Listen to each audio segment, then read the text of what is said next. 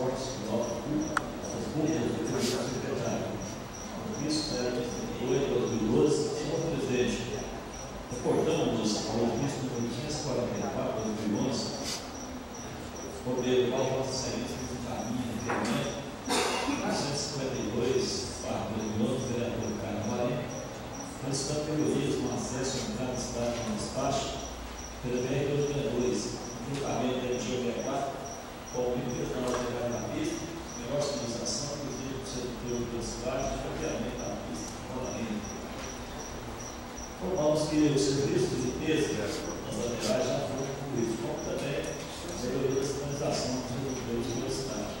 Informando ainda que foram respondidos os pais que questão de recolhimento de segmentos críticos ao longo do trecho, cujo projeto de operação é funcional no pagamento da diretoria do projeto de levantamento para de rodagem do Estado de Minas Gerais, BR, corrigir após, após que a obra será licitada. Pessoalmente, Carlos Mendes. do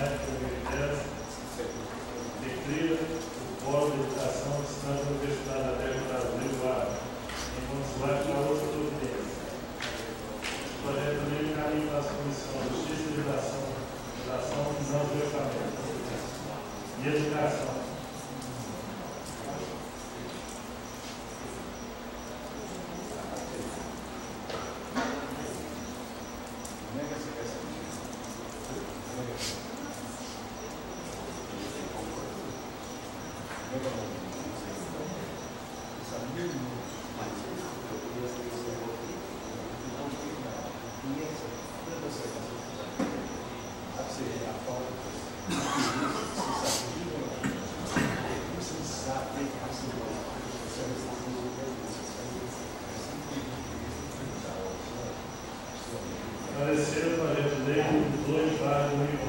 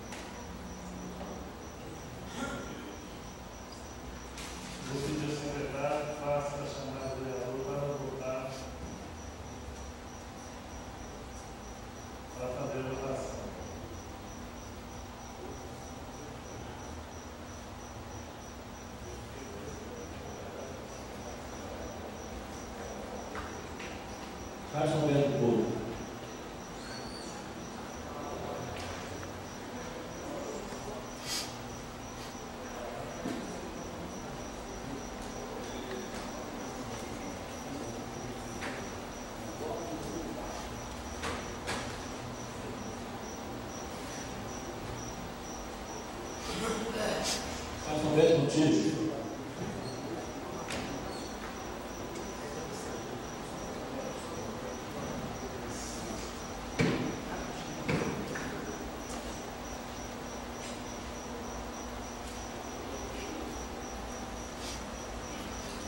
Renan Cabral.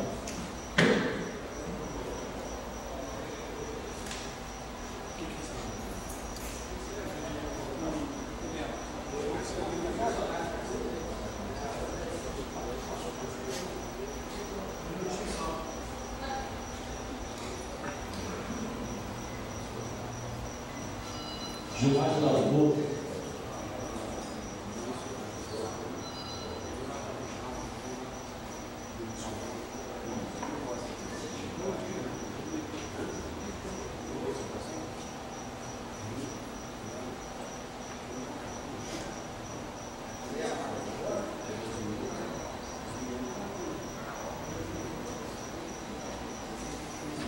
Jefferson Rodinei de Oliveira.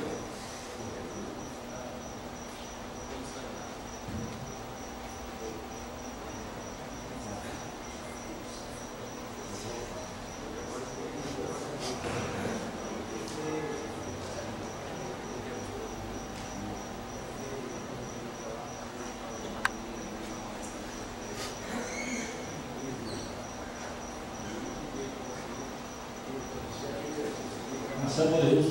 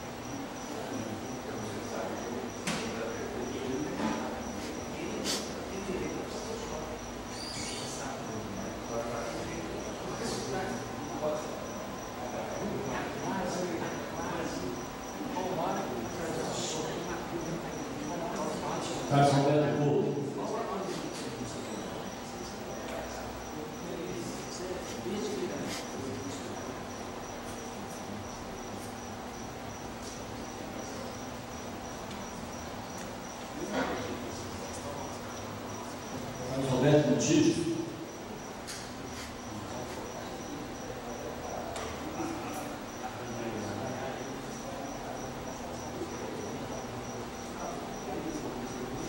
Fernando Cabral.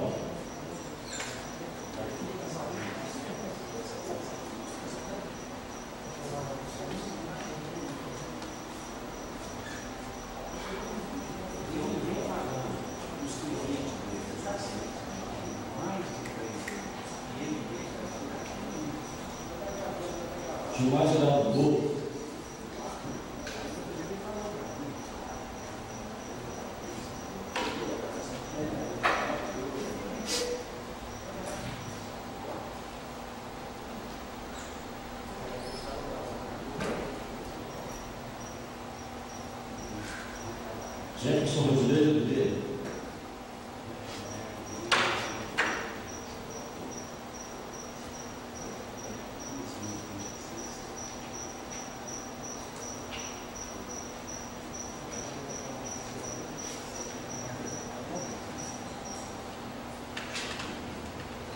Valerio dos Santos.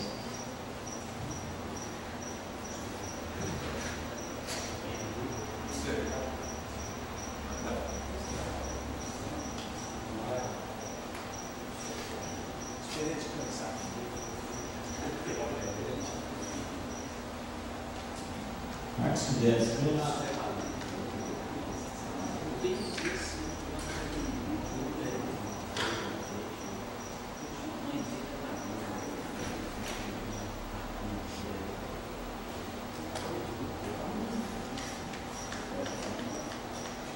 Ricardo Zubalém.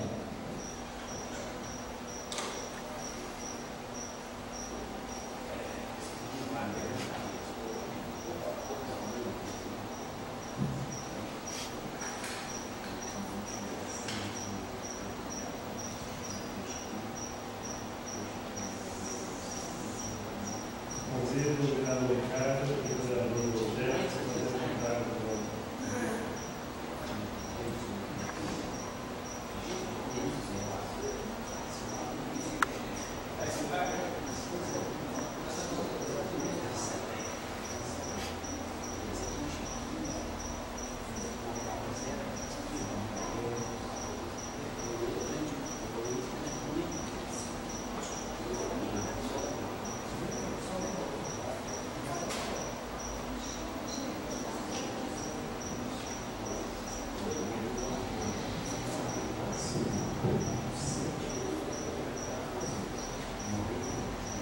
Resultado. Um voto favorável, dois votos, segura, dois votos favoráveis, três votos favoráveis,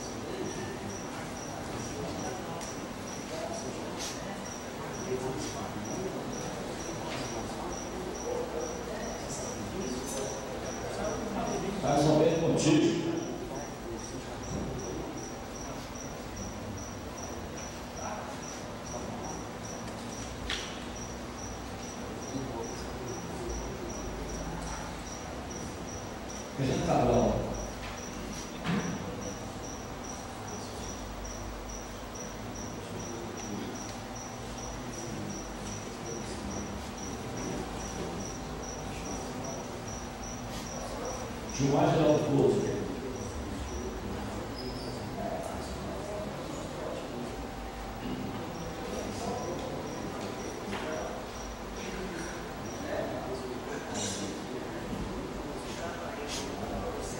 Jefferson Rodrigues de Deus.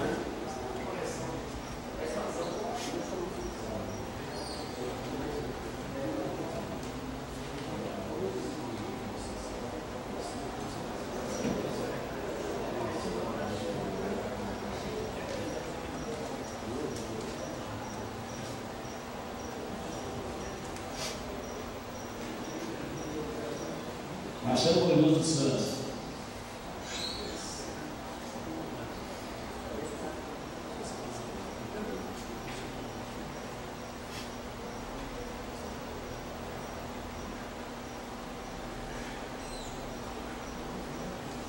Marcos Moreira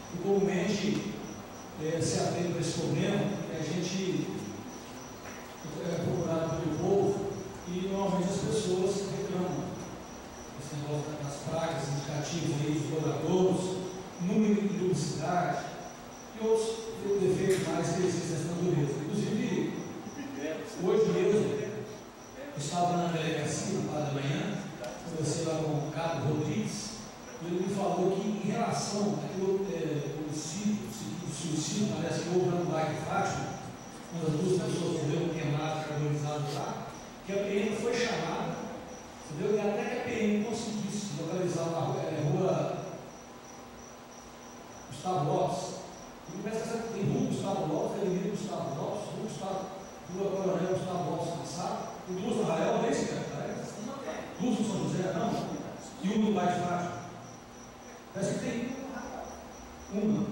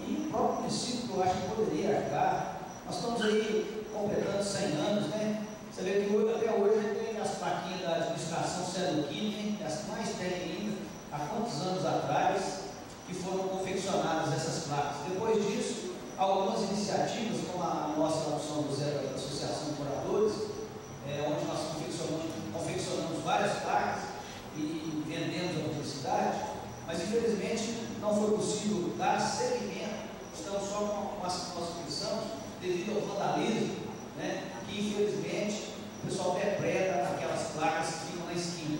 Então, a, sugestão que a gente sempre dá é que sejam realmente afixadas nas esquinas, nos muros, nas paredes das casas, né, com, o consentimento dos moradores, e isso poderia se fazer agora nesse nosso centenário, nesses três meses que faltam, quem sabe, mandar fazer umas plaquinhas para, também comemorando o centenário e ajudando né, é, a essa questão da, da, nossa cidade, da, da, localização. Nós temos problema com o pessoal que vem fora, nós temos problema desse que Vossa Excelência citou aí né, na polícia, nós temos também o pessoal que faz as entregas, enfim, é, é, é um problema muito sério que nós temos no nosso município. Acho que é um investimento pequeno, você imagina, uma plaquinha dessa, se for feito com material mais barato, acredito que ela deve ficar na quantidade da faixa de 20 a 30 reais uma plaquinha dessa. Se você tem um plaquinha, por exemplo, você né, dá, dá, dá para colocar em muitas esquinas, né? E você resolve o problema, um investimento de 20, 30 mil reais para o município. E mesmo assim também a lei que você pode fazer parceria. Eu tenho certeza que diversas empresas têm interesse na propaganda permanente, né? Das empresas Então, assim, são algumas coisas pequenas que eu acho que a nossa cidade está precisando, e sempre eu debato isso com os, nossos colegas, porque às vezes o prefeito fica preocupado em fazer obras, obras grandes, luxuosas, e se está esquecendo né, do, do dever de casa, né, que é a sinalização, nós nem vamos tocar mais no assunto, porque né, foi se prometido para o centenário, mas a primeira de junho está apertado fazer. Às vezes ainda faz. Né? É a questão dos passeios, a questão dos buracos. Então, assim, eu acho que a prefeitura, o próximo prefeito, que ora seja eleito, deve preocupar mais em cuidar do quintal, né? cuidar, não ficar preocupado demais com obra muito suntuosa, fazer as pequenas coisas, uma iluminação boa, uma boa roda de árvore, uma boa, né? uma, uma boa harmonização do nosso município. Muito obrigado, senhor. Senhor presidente, ainda tendo o assunto aí, né, corroborando aí com as palavras do Ricardo, realmente eu estive conversando com, com o pessoal ali, eles falaram também umas plaquinhas de aqui, que são bem baratas, né, que realmente se faz imprescindível, que se demarca esse assunto, porque o dia mesmo eu cheguei no bairro Santa Marta, na parte de baixo ali, eu fiquei rodando o papelão lá, sabe, você, o pessoal que na rua de baixo assim, eu não sabia que achava a rua assim. Não sei que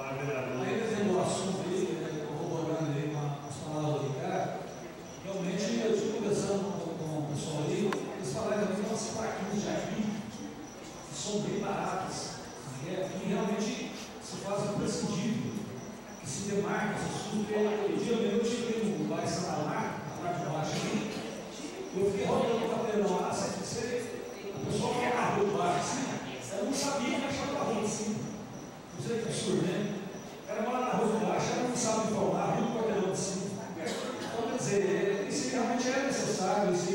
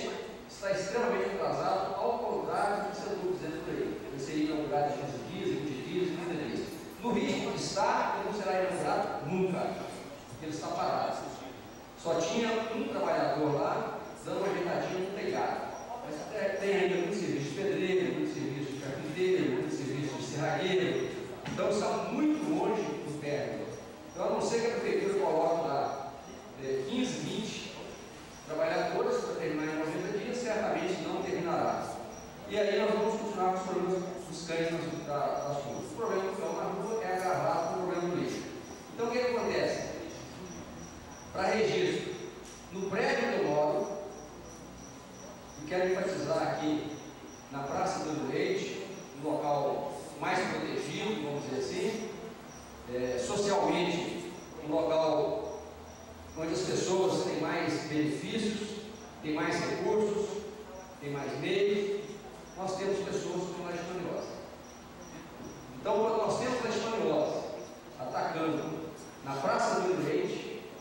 que está acontecendo pelo resto dessa cidade?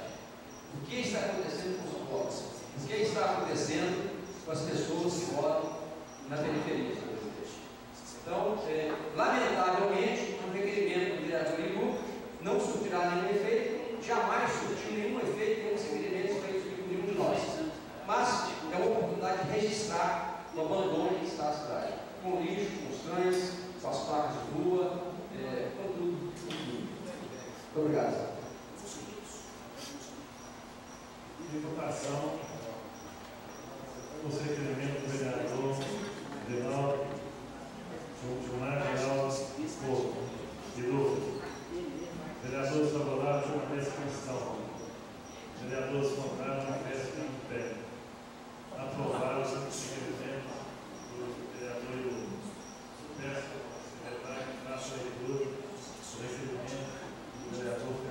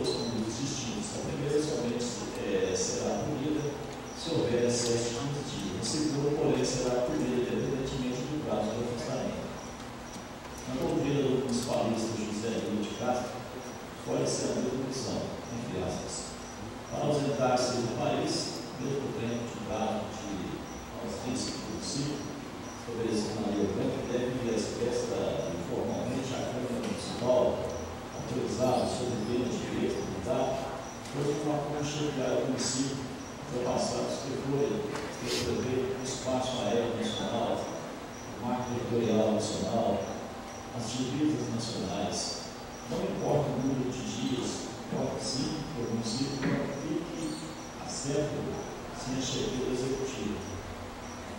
Caso José Caso José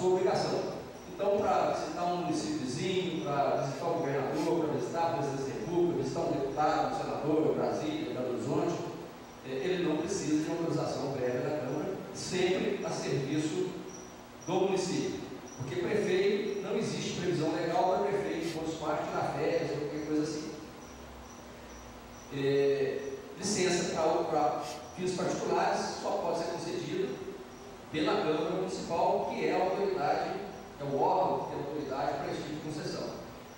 É, um dos princípios hermenêuticos na interpretação da lei diz o seguinte: a lei não contém palavras vãs. Nós não podemos admitir que a lei contém palavra vã. Se a palavra, se a lei diz alguma coisa, tem que ter um significado. E o inciso oitavo do artigo 89 diz o seguinte: ausentar-se do município por tempo superior ao permitido nessa lei orgânica.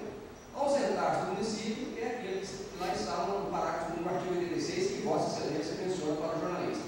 O prefeito não poderá ausentar-se do município, o vice-prefeito do Estado, etc. Ausentar-se. Tá certo? Mas completando, ausentar-se do município por tempo superior ao permitido nessa lei orgânica, ou, e aqui é que está a regra que o prefeito vem quebrando sistematicamente, ou afastar-se da prefeitura sem autorização da Câmara.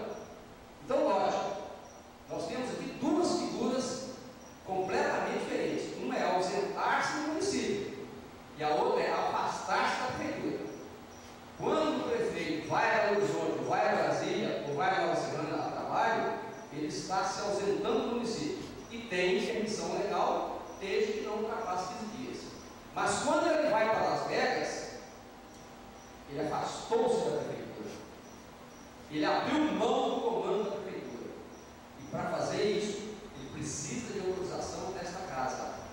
Até o presidente da República, quando sai do país, passa o comando. Quem é não sabe disso?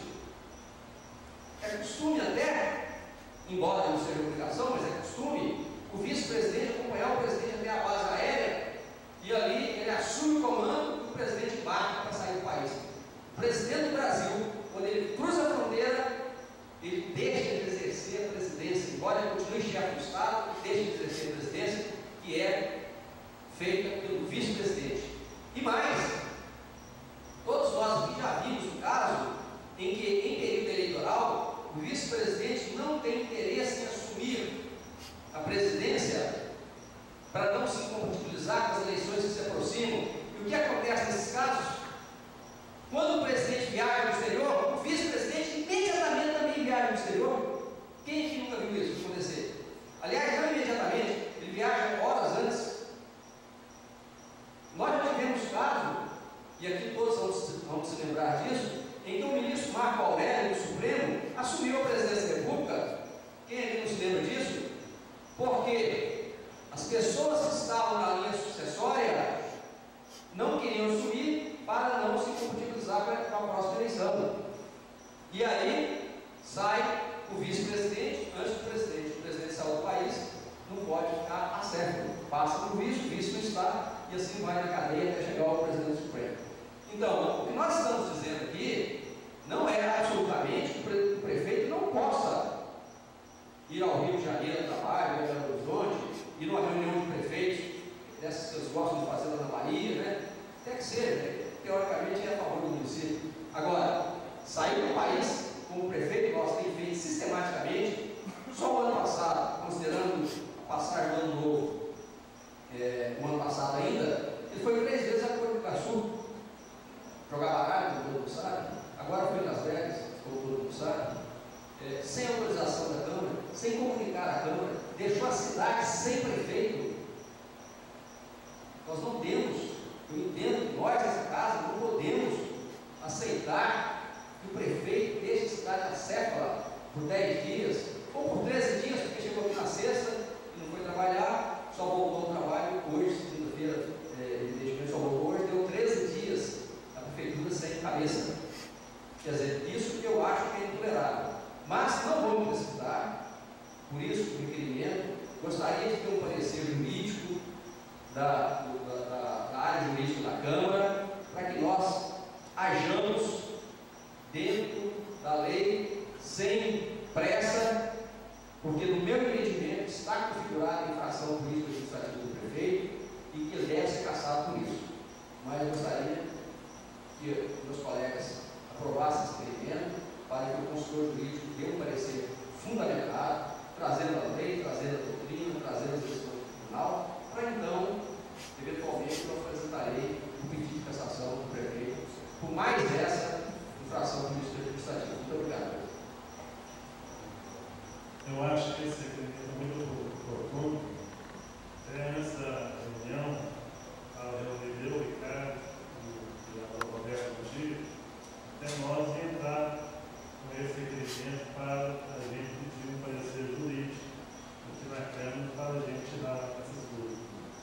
Em discussão, requerimento do vereador Fernando Cabral. Em votação, vereadores favoráveis permanecem como estão. Vereadores contrários manifestam o mesmo pé. Aprovado o requerimento do vereador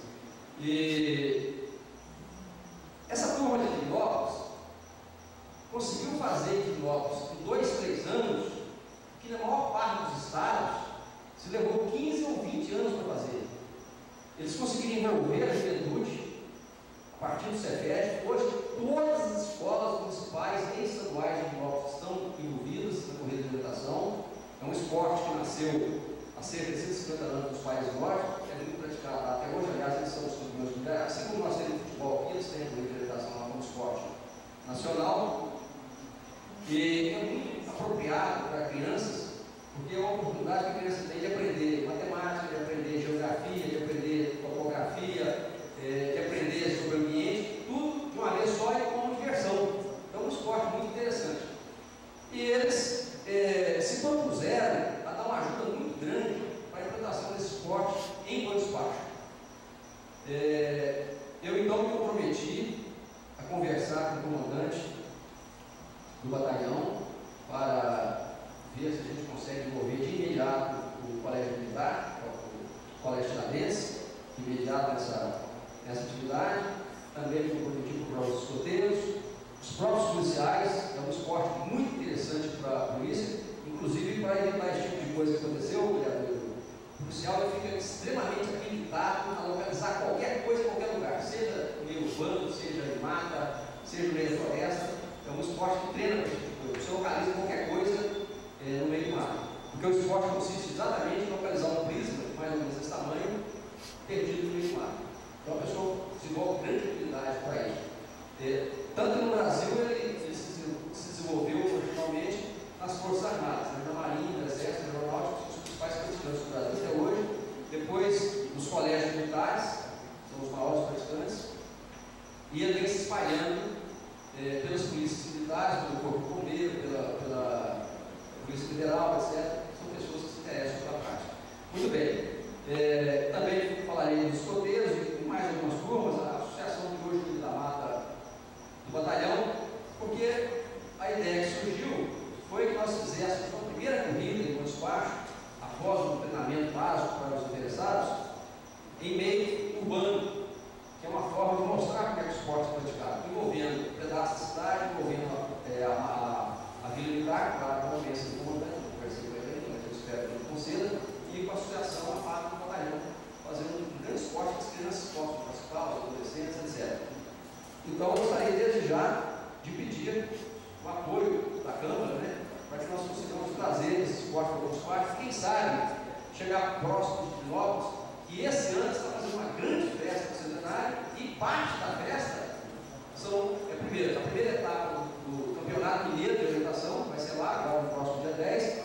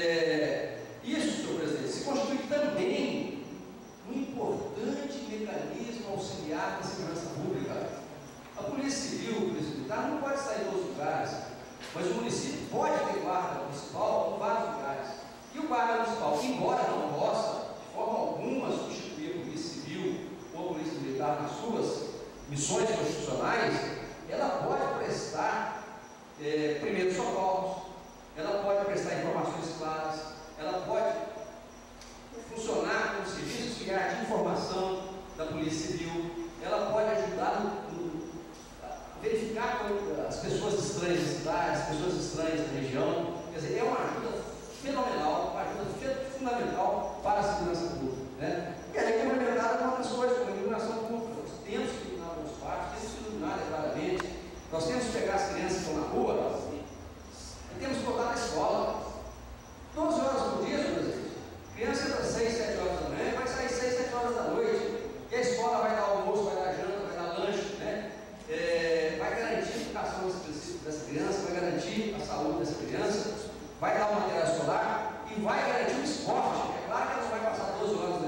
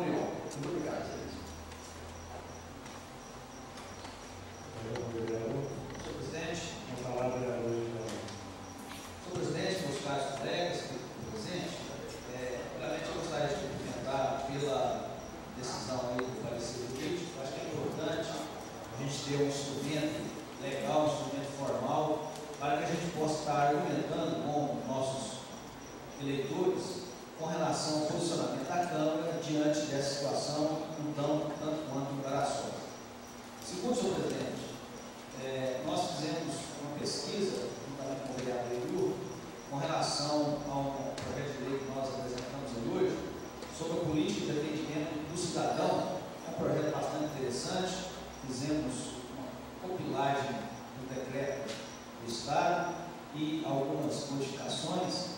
Eu tenho certeza que é um instrumento de bastante interesse para o cidadão, principalmente aquele que utiliza né, a, o espaço público para obter as suas informações, para obter os seus serviços, os seus registros.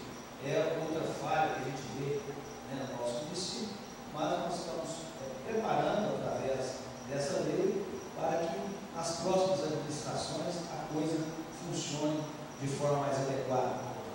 Também é, recebi com muita alegria essa resposta do secretário de Estado de Transportes e Obras Públicas, Dr. Carlos Neves, com relação à questão da nossa entrada na cidade. É, que eu já tinha percebido que havia sido feita a limpeza e também a sinalização dos quebra-molas, colocaram placas novas, placas grandes, né? faltou é pintar, né? Mas fica para uma próxima etapa. E também a questão do nosso recapeamento ali. Realmente, a nossa entrada ali né, parece um queijo suíço quando nós nos adentramos da 262. É muito vergonhoso até, a gente recebe algumas pessoas de fora e né, diz para a gente como é que pode entrar na cidade tão mal cuidado, né, e até antes da, da sinalização, né, dos quebra-molas, é, a questão até de pegar um voo né, com os seus, os veículos. Então fica a nossa esperança que seja feito esse recapeamento, né, ainda esse ano. O último recapeamento que foi feito foi no final do governo Celo Quino, então tem muitos anos né, que foi feito esse recapeamento e já está precisando. É claro que o nosso sonho é era publicar, iluminar, mas sonho ficando um pouco distante, né? pelo menos por enquanto. Também, senhor presidente, gostaria de cumprimentar o vereador Fernando pela, pela sua aquisição, né, sua conquista lá de Novos, como atleta,